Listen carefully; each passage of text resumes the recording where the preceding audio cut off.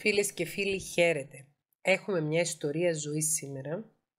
Ένα ερώτημα μιας γλυκύτατης φίλης, η οποία διερωτάται εάν είναι συνεξαρτώμενη ή νάρκισσος. Εάν είναι θύμα στη ζωή της ή θήτης. Διαβάζω κατευθείαν το email της, το οποίο είναι πολύ συγκινητικό και θα καταλάβετε γιατί στη συνέχεια και έχω και ένα μήνυμα στο τέλος που στέλνει προς όλους εμάς αυτή η φίλη. Καλησπέρα σας κυρία Πετρίδου. Καλησπέρα. Πριν λίγες μέρες τυχαία πέσανε στην αντίληψή μου κάποια βιντεάκια σας σχετικά με τους ναρκισιστές και τους συνεξαρτώμενους. Είμαι σε ένα γάμο εδώ και 35 χρόνια.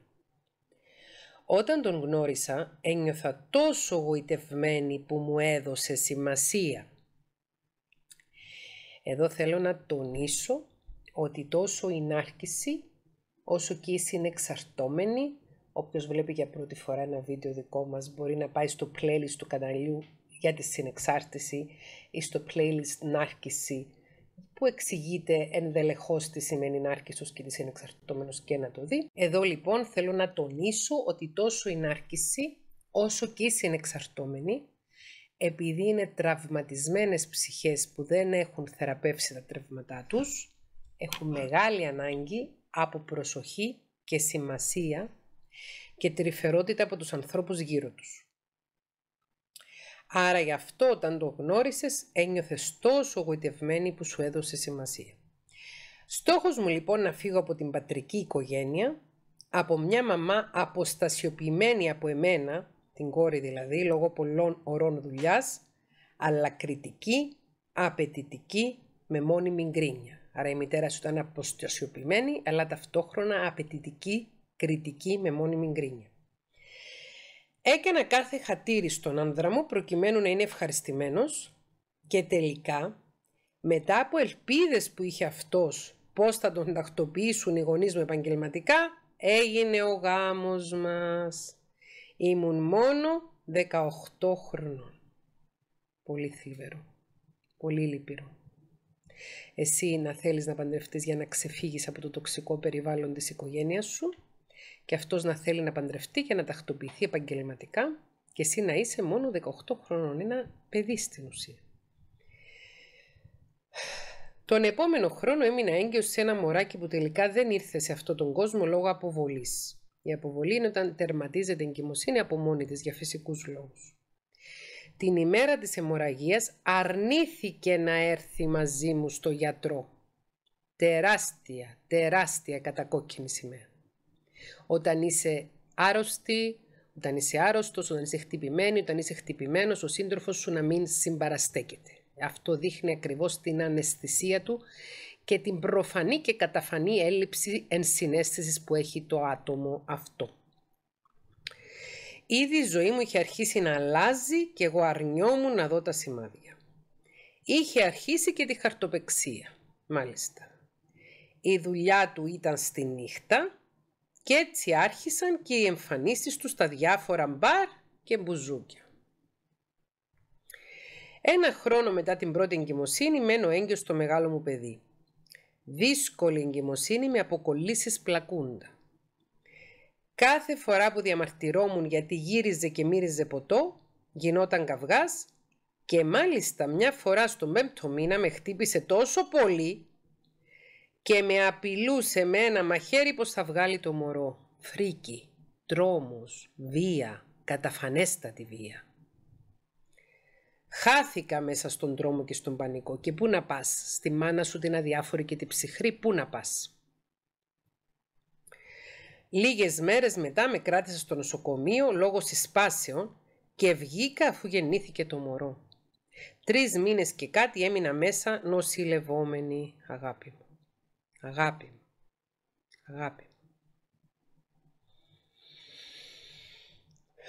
Πήγα σπίτι μας και έβαλα στόχο της ζωής μου να τον αλλάξω. Εδώ είναι η τεράστια κόκκινη σημαία της συνεξάρτησης. Οι απανταχούς είναι εξαρτώμενες και οι απανταχούς είναι εξαρτώμενοι. Βάζουμε στόχο της ζωής μας να αλλάξουμε τον τύρανο, να αλλάξουμε τον άνθρωπο που είναι εθισμένος. Να αλλάξουμε τον άνθρωπο ο οποίος είναι τόσο εγωκεντρικός και τόσο νάρκισσος που δεν θέλει να αλλάξει. Πίστευα πως η αγάπη και η καλοσύνη αλλάζουν και το πιο σκληρό άνθρωπο. Αυτή είναι μια πολύ μεγάλη παρανόηση, είναι μια πολύ λαθεμένη άποψη για την οποία φταίει και η θρησκεία. Για αυτή την παρανόηση, ότι η αγάπη και η καλοσύνη αλλάζουν και τον πιο σκληρό άνθρωπο. Αλλάζει μόνο ο άνθρωπος που θέλει να αλλάξει. Αλλάζει μόνο ο άνθρωπος που έχει τα κότσια και την εργατικότητα να αλλάξει. Γιατί για να αλλάξει ένας άνθρωπος χρειάζεται να κοπιάσει. Και η κακία είναι συνώνυμη με την οκνηρία, την τεμπελιά. κανένα απεριόριστο ποσό αγάπης και καλοσύνης δεν μπορεί να αλλάξει έναν άνθρωπο τόσο ράθιμο, τόσο κνηρό, τόσο τεμπέλη που δεν θέλει να βάλει τη δουλειά που χρειάζεται να βάλει ο, καθένα μας, ο καθένας μας για να εξελίξει τον εαυτό του και να επιλέξει το δρόμο της αρετής που είναι δρόμος κόπου από το δρόμο της κακίας που είναι δρόμος χωρίς κόπο. Η σκληρότητα μεγάλωνε, αλλά εγώ δεν έβλεπα, δεν ένιωθα, επειδή ακριβώς ίσως είναι εξαρτώμενη και τυφλωμένη. Το μόνο που σκεφτόμουν ήταν να τον αλλάξω και έδινα και ξαναέδινα ευκαιρίες. Αυτό είναι το μότο όλων των συνεξαρτώμενων. Θα την αλλάξω, θα τον αλλάξω. Με την αγάπη μου θα τον αλλάξω. Αν σκέφτεστε έτσι, προβληματιστείτε. Α σκεφτόμαστε έτσι, να προβληματιζόμαστε. Δύο χρόνια μετά ήρθε και το δεύτερο παιδί και εγώ χάθηκα ανάμεσα στη δουλειά μου, τις δουλειές του σπιτιού και το μεγάλωμα των παιδιών. Πέρασαν χρόνια με καυγάδες, με ξύλο, με αδιαφορία. Τι άσχημος, απάνθρωπος τρόπος να ζεις τη ζωή σου. Πώς ζούμε έτσι τις ζωές μας. Έμαθα για παράλληλες σχέσεις του, κάποιες τις παραδέχτηκε, αλλά όλες ήταν με γυναίκες της νύχτας. Μάλιστα, μάλιστα. Ο εύκολος δρόμος της κακίας. Να γυρνάει τα βράδια, τα μπουζούκια και τα μπαρ και να τα φτιάχνει με γυναίκες της νύχτας, χωρίς να σημαίνει ότι φταίνε οι γυναίκες της νύχτας που τα φτιάχνει μαζί τους. Αυτό φταίει που πήγαινε και τις έβρισκε παντρεμένος άνθρωπος.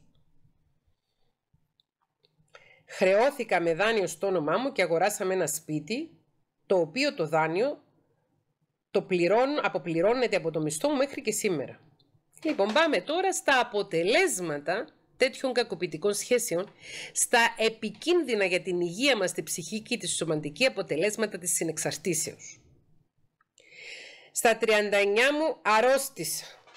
Έπαθα εγκεφαλικό και οι γιατροί διέγνωσαν πολυεμφρακτική νόσο του εγκεφάλου την, το απέδωσαν σε αυτοάνωση αγκιήτιδα. Αυτοάνωσα νοσήματα. Είναι νοσήματα τα οποία εμφανίζονται κατά κόρον σε ανθρώπους οι οποίοι είναι στενοχωρημένοι, πληγωμένοι, καταπιεσμένοι και δεν είναι καλά με τον εαυτό τους. Κατά, στα αυτοάνωσα νοσήματα το ίδιο το αμυντικό σύστημα του εαυτού ε, ε, επιτίθεται στον εαυτό του. Αν προσπαθήσουμε να το δούμε σαν μια ψυχολογική παρομοίωση, βάζω μέσα μου στενοχώρια, βάζω μέσα μου κακία, βάζω, βάζω μέσα μου πίκρα. Δηλαδή βιώνω αρνητικά πράγματα, δεν κάνω κάτι για να ξεφύγω, δεν ε, αντιδρώ, δεν προστατεύω τον εαυτό μου, οπότε αφήνω να μπουν μέσα μου όλα αυτά τα αρνητικά και τα τοξικά που μου δίνει ο κακοποιητής μου. Οπότε ίσως τώρα αυτό που λέω είναι ε, μια παρομοίωση για να καταλάβουμε πώς μπορεί να κινδυνεύει η υγεία μας όταν ζούμε σε πολύ κακοποιητικές καταστάσεις. Δεν είμαι γιατρός, δεν γνωρίζω ακριβώς με ποιο τρόπο η φύση επιτρέπει να δημιουργηθεί ένα αυτοάνωσο νόσημα, αλλά θα έλεγα μια παρομοίωση ότι ο οργανισμός μας επιτίθεται σε όλα αυτά τα αρνητικά που έχουμε μέσα μας και στην ουσία αυτό εμφανίζεται με τη μορφή ενός αυτοάνωσου νοσήματος. Σκέψου, έπαθες εγκεφαλικό στην ηλικία των 39 χρόνων. Από αυτοάνωση αγκίτιδα. Και έμεινες εκεί. Και μου στέλνεις σε μένα mail να με ρωτάς αν είσαι νάρκισσος ή συνεξαρτώμενη. Ίσως περισσότερο από ένα χρόνο κράτησε η θολούρα στο κεφάλι μου και σβήστηκαν από τη μνήμη μου πάρα πολλά. Τότε άρχισα να καταλαβαίνω ότι κάτι δεν πάει καλά. Με μένα όμως ή στον άντρα μου. Ήθελα λογικές εξηγήσεις για όλα.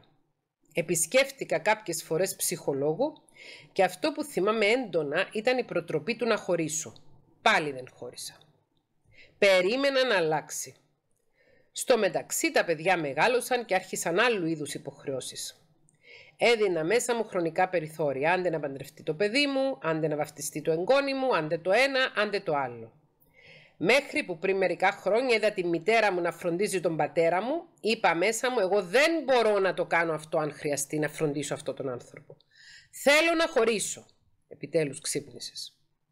Έκανα δύο αιτήσεις διαζυγίου, αλλά σε καμία δεν πήγε να υπογράψει, ώσπου πέρσι έκανα αγωγή διαζυγίου. Την τελευταία φορά που με χτύπησε, βρήκα τη δύναμη και τηλεφώνησα στην αστυνομία και πολύ καλά έκανες. Τον πήραν στο τμήμα, αλλά εγώ ή τελίτσες, δεν έκανα μήνυση για να μην γίνω ρεζίλη στα συμπεθέρια. Κακός! Δεν είσαι ανάρκησος, συνεξαρτώμενη είσαι. Άρχισε λοιπόν να αλλάζει η συμπεριφορά μου. Δεν ασχολούμαι μαζί του, δεν τον μαγείρευα, δεν τον έπλαινα. Έλα όμως που δεν φεύγει από το σπίτι. Έχουμε ξεχωριστά δωμάτια, αλλά ζητάω απεγνωσμένα να φύγει. Δεν φεύγει μέχρι να δει τι δικαιούται από το σπίτι, λέει. Κανένα άλλο περιουσιακό στοιχείο δεν αποκτήσαμε. Μόνο αυτό το σπίτι που είναι με δάνειο. Πληρώνω μόνη μου τα έξοδα και σε όλη μου τη ζωή αυτό έκανα απλώς για να μην θυμώσει.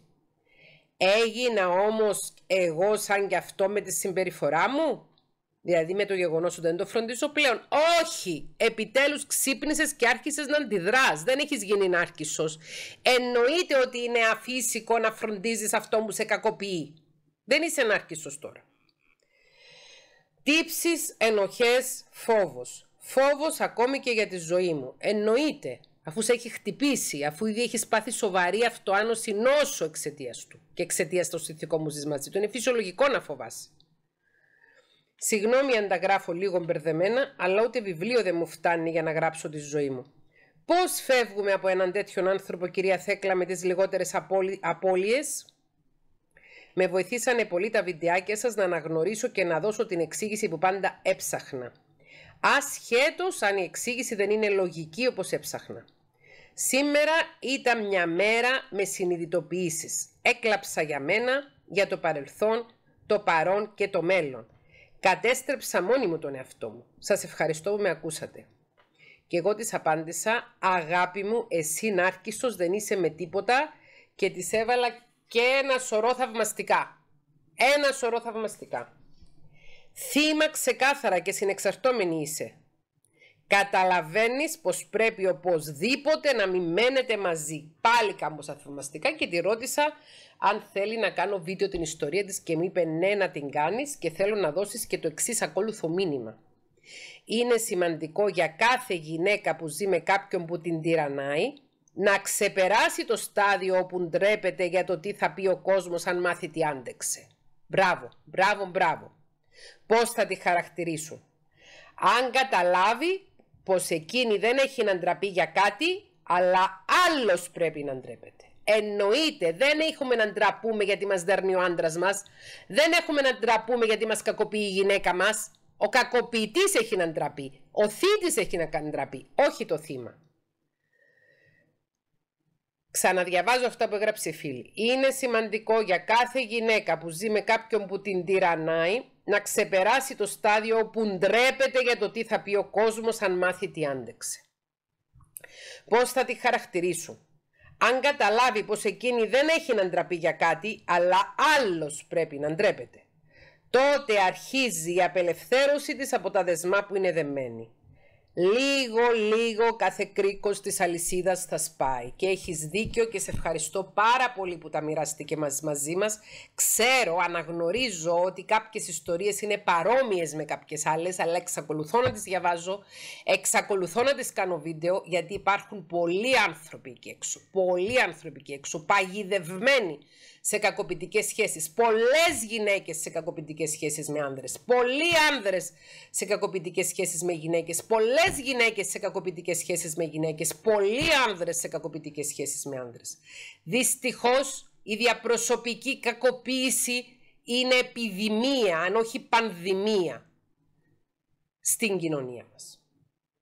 Δυστυχώς πάρα πολλοί άνθρωποι κακοποιούνται και δεν το αντιλαμβάνονται. Κακοποιούνται ψυχικά και σωματικά και δεν το αντιλαμβάνονται πως κακοποιούνται. Δυστυχώς πάρα πολλοί άνθρωποι βάζουν πάνω από την υγεία τους τη ψυχική και σωματική, πάνω από την ακαιρεότητα τη ψυχική και τη σωματική, το τι θα πούν οι άλλοι, τι θα πούν οι συμπέθεροι, τι θα πει η γειτόνισσα, τι θα πει ο ένας, τι θα πει ο άλλος. Στα τέτοια μας και τι θα πούν, στα τέτοια μας και τι δεν θα πούν. Ξέρω, είναι πολύ δύσκολο. Πάρα πολύ δύσκολο κάποιος να φτάσει σε αυτό το σημείο και να αειδιάσει και να πει δεν με νοιάζει. Ό,τι θέλω να σου εγώ θα απελευθερωθώ. Θυμάμαι, θα μοιραστώ τώρα μια εμπειρία μαζί σας πολύ ιδιαίτερη για μένα. Ήμουνα πολύ νεαρή ψυχολόγος, ήμουν έγκυος στην Κυριακή, δηλαδή ήμουν 25 ετών. 25 ετών και άρχισε να με επισκέπτεται μία γυναίκα η οποία ήταν γύρω στα 50 και είχε μια πολύ δύσκολη ζωή. Και μου τη θύμισε σε αυτή τη γυναίκα επειδή είχε παρόμοια εμπειρία στον πρώτο της γάμο με τον πρώτο της άνδρα, ο οποίος την κλωτσούσε συνεχόμενα για πόση ώρα, ενώ ήταν έγκυος στο πρώτο της παιδί, μέχρι που απέβαλε. Εξαιρετικά τραυματική εμπειρία. Χώρισε από εκείνον τον άντρα. Επειδή δυστυχώς ήταν πλούσια, και το τονίζω επειδή δυστυχώς ήταν πλούσια, επειδή δυστυχώς ερχόταν από μια πλούσια οικογένεια, βρέθηκαν πολλοί επίδοξοι γαμπροί μετά. Ο δεύτερος άνδρας που πήγε, που πήρε, ο δεύτερος άνδρας που παντρεύτηκε, ήταν ένας αλκοολικός. Και ένας άνδρας ο οποίος καταφανώς την απατούσε. Ερχόταν σε μένα και της έλεγα, αγάπη μου, όλα αυτά που βλέπεις να γίνονται μέσα στο γάμο σου, όλα αυτά που βλέπεις να γίνονται μέσα στη σχέση σου, είναι ξεκάθαρες ένδειξεις ότι ο άνδρας σου δεν σε αγαπάει και ότι σε κοροϊδεύει. Δεν ήθελε να το δεχθεί με τίποτα. Μου έλεγε δεν θέλω με τίποτα, με τίποτα, με τίποτα να χωρίσω για δεύτερη φορά σε μια μικρή κοινωνία. Θα πούν για μένα ότι είμαι μπιπ, θα πούν για μένα ότι είμαι ανεπρόκοπη, θα πούν για μένα ότι δεν μπορώ να κρατήσω ένα γάμο και μου λέει αν με αγαπάς μην μου πεις ξανά να χωρίσω. Και ερχότανε για 5-6 μήνες κοντά μου και έλεγε ότι οι συνεδρίες μας τη βοηθούσαν να νιώθει καλύτερα, οι συνεδρίες μας τη βοηθούσαν να είναι καλύτερη μητέρα με τα παιδιά της, οι συνεδρίες μας τη στήριζαν. Σε κάποια φάση η γυναίκα αυτή πέθανε. Δεν χρειάζεται να πω πως πέθανε. Μπορεί κάποιος πολύ ξεκάθαρα να αντιληφθεί ότι ας ζεις μέσα σε μια κακοποιητική συνθήκη, θα βγάλει το σώμα σου μια αρρώστια και θα πας στο καλό. Ήταν αρχές του 2001 και πήγα στην κηδεία της. Δοκίμασα να πάω στην κηδεία της. Δοκίμασα. Δοκίμασα να πάω, δεν μπόρεσα να πάω. Έχουμε αυτό το έθιμο εδώ στην Κύπρο που πάμε στο σπίτι πριν από την κηδεία, που έχουν τον νεκρό και τον χαιρετάνε.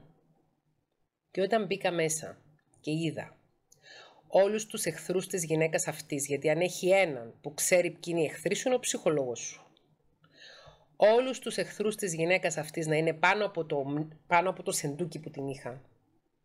Και μάλιστα ένας από τους εχθρούς, συγγενείς, συγγενείς, σας κατάλαβα, να λέει τι κακό μας έκανες και τι κακό μας έκανες που πέθανες τόσο νέα και θα έχουμε να φροντίζουν τα παιδιά σου. Και όταν είδα έναν άλλο εχθρό της να κρατάει τα παιδιά της αγκαλιά και πήγα εγώ να μιλήσω στα παιδιά και λέει άσε τα παιδιά. Τα γνώριζα τα παιδιά.